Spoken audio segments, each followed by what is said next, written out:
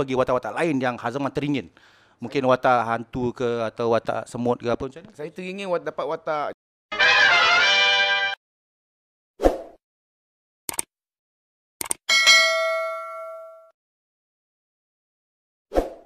Okey, Assalamualaikum. Kita bersama sekali lagi. Uh, mana lagi kalau bukan uh, di dalam Basport di belakang tapi hari ini kita bersama seorang bintang yang tak perlu saya kenalkan lagi. Ada perasaan lepas tersingkir daripada Akademi Fantasia ataupun masuk Akademi Fantasia. Saya rasa bersyukur lah Itu saja.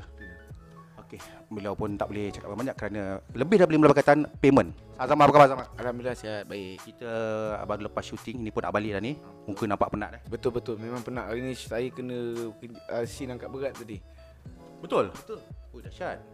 Tapi soalan pertama saya, saya buat research tadi tau. Saya buat research.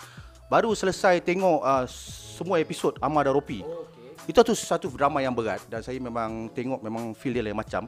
Lepas tu tiba-tiba berubah berubah arah cerita komedi. Saya rasa training berlaku masa berlakon JKK. Saya baru tengok minggu lepas de, kepada komedi. Dan menjadilah komedi tu sekarang berlakon Rock 4 pun cerita komedi juga. Kenapa nak panjangkan range ataupun uh, uh, apa ni variasi lakonan daripada drama berat ke serius sekarang kepada komedi berat? uh, Sebab saya nak try. Okay, Kalau sebab sebelum ni Sebenarnya daripada kali pertama saya berlakon Memang watak yang saya dapat Watak yang light macam komedi-komedi macam tu. So bila yang saya try Amar dan Opi tu Sebenarnya saya nak try Saya ni mampu tak untuk bawa watak yang lebih serius? Bila saya dah boleh buat saya beranilah macam bila abang Mamat uh, offer kita ni. So kita rasa macam okey beranilah nak ambil sebab kadang-kadang kita tak tahu, kita punya kemampuan untuk uh, berlakon kan? So bila kita dah boleh buat yang pelakar kita ada okey ada resume. So kita dah pernah buat yang sedih. So uh, baru saya berani ambil abang Mamat ni sebab Kau ambil Abang Mamat? Tak ambil abang Mamat punya tawaran Oh, okay. Ah, Yang kau ambil Abang Mamat jadi director? Habis cakap lagi Okey ah, Lepas tu macam tu lah cerita dia Oh, ada ambil ah, Habis dah Okey. Um, saya baru dapat uh, perkabaran dan juga saya buat berita sebenarnya Hazama antara late entry eh dalam grup ni yang hujung-hujung eh. Macam mana boleh berlaku yang lambat? Uh, mungkin ada berlaku Saya sebenarnya memang tak tahu menahu pasal uh, uji bakat Rock 4 ni punya casting apa semua saya tahu sebab saya memang ada kerja saya. Tiba-tiba saya dapat satu panggilan daripada assistant director. Dia ada kat sini ya? Ada. Ada kat luar. Okey, dia dia yang call saya yang menyatakan dia Abang Mamat ada menawarkan saya satu watak dalam filem dia tapi dia tak beritahu filem apa. Saya dengan nama Abang Mamat Khalid je, saya so okey, on lah. Sebab saya pun nak try lah Abang Mamat punya uh, bawa, di bawah arahan Abang Mamat macam mana dia punya ni kan. So saya terus on lah tiba-tiba oh, rupanya uh, filem yang ditawarkan tu uh, Rock 4 di mana saya memegang watak sebagai Omar basis. Bukan uh, watak-watak yang biasa saya pegang lah di mana sebelum ni saya pegang sebagai penyanyi. So kali ni sebagai musician pula lah. Maknanya Hazama yakin confident akan dapat watak utama tu lah tanpa casting. Mungkin Diorang ada perbincangan sebelum ni Sebab saya memang tak tahu yang Abang Mamat nak shoot lompat Cuma bila diorang minggu depan tu diorang nak shoot Diorang beritahu saya minggu ni Saya terus anggap sebagai satu rezeki lah Okey, boleh ceritakan uh, watak Hazama dalam filem Rock 4 eh? Okay, watak saya sebagai Omar yang di mana Omar ni merupakan seorang basis yang uh, bercinta dengan salah seorang anggota uh, Rimba Bara 2 juga iaitu Watak tu ada kat sini? ada. Saya bercerita tu. Boleh tunjuk Ah, sikit? ah, lah. Penny. Dah jangan bercakap eh. Pakai sini balik. Apa cerita dengan watak itu? Watak itu yang bernama uh, Seri. Seri. Ah okey kita bercinta dan uh, Omar ni merupakan seorang uh, penagih dadah. Dalam band ni lah. Uh, so dia ada konflik yang berlaku dalam band ni sebab Yelah dadah ni kan tak bagus kan. So kalau korang nak tahu korang kena tengok ah Rock 4 nanti. Yang bagusnya Azama banding dengan Adam John, dia tak spoil cerita. Kalau macam tadi kita interview Adam John, habis satu cerita. Dah 70% kita tahu cerita dia dah. untuk untuk soalan uh, seterusnya Azama eh. Uh, ini filem yang keberapa untuk Azama?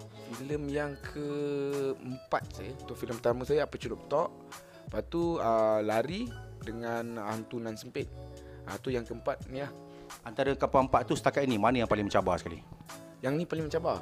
Sebab Ah, Sebab uh, Abang Mamat punya angle lah dalam pengarahan ni dia berbeza dengan pengarah-pengarah yang pernah saya kerja sebelum-sebelum ni.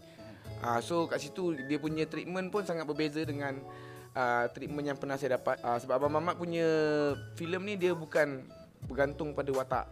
Dia bergantung satu satu cerita whole story semua semua peranan. So kat sini saya belajar satu angle baru lah terhadap satu pengarahan sebab uh, itu yang mencabar sebab kita tak tahu apa yang Abang Mamat nak buat untuk scene-scene hari ni kita rasa macam ni. Besok kita tak tahu uh, skrip tu boleh berubah Penuh dengan kejutan eh. Yes, Abang Mamat uh, penuh dengan uh, dia selalu dapat ilham last last minute. So uh, benda tu yang mencabar tu kita tak tahu apa yang Abang Mamat nak dalam scene-scene yang dia buat untuk kita orang. Okay, last question eh, soalan terakhir untuk Azama. Dah buat drama serius, drama berat dan dah buat komedi. Mana satu yang suka sekarang ni? Uh, saya suka lah dua-dua lah. Ada dia ada satu kepuasan macam komedi ada kepuasan dia macam uh, buat drama yang serius uh, apa ni semua ada kepuasan dia. So uh, saya rasa dua-dua tu untuk saya lah pelakon uh, baru belajar berlakon ni saya rasa dua-dua tu best lah. Apa lagi watak-watak lain yang Hazama teringin? Mungkin watak hantu ke atau watak semut ke apa macam ni? Saya teringin wat, dapat watak jahat lah. Sebab selalunya saya dapat watak. Oh, tak pernah dapat watak jahat lagi? Ha, saya baik semua. Kenapa nak watak nak sangat watak jahat tu? Sebab boleh pegang perempuan ke macam ni? Bukan lah kalau pegang perempuan baik pun boleh. Watak baik pun dapat. Kita kita nak try lah suatu watak yang selalunya saya selalu dapat yang yang side-side baiknya. Ha, geng bara kita tak dapat yang geng berlawan tu. Ha, so saya teringin macam watak antagonis. Ha, so sesuatu yang boleh mencabar lagi karakter saya lah. Terima kasih kepada Azama di belakang tabir. Uh, kerana sudi di beranilah diwawancara, oleh saya Faizal Mota untuk Buzz Pop. Sekali lagi jangan lupa untuk saksikan di belakang tabir Buzz Pop dan juga Rock 4. Terima kasih Azama. Ciao. Assalamualaikum.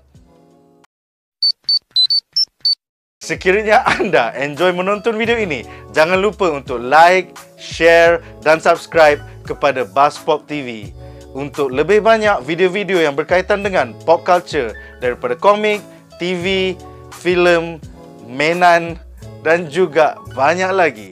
Majulah fandom untuk negara.